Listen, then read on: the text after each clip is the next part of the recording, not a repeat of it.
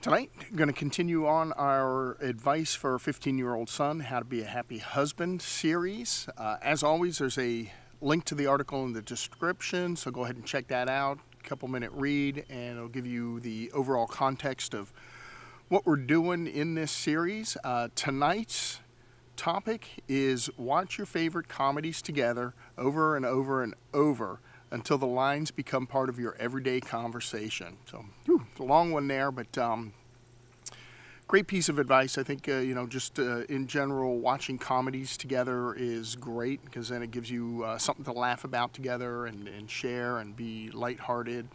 Uh, you know, and that uh, so that's always uh, good. Uh, you know, instead of watching the serious crime stuff or whatever, you may be into that, and that's fine. Nothing wrong with that. But it's nice to watch the comedies and have some levity and and uh, you know, kind of be able to to joke in in in that way, and then also. To watch them enough that the lines in them become part of your everyday conversation.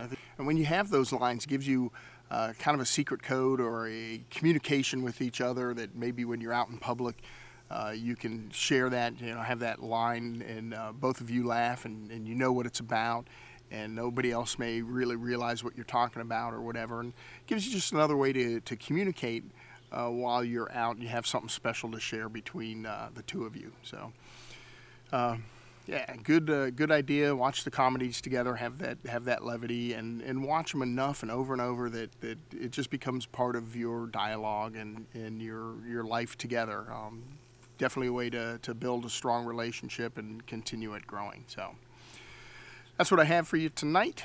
Have a great evening. I'll talk to you tomorrow.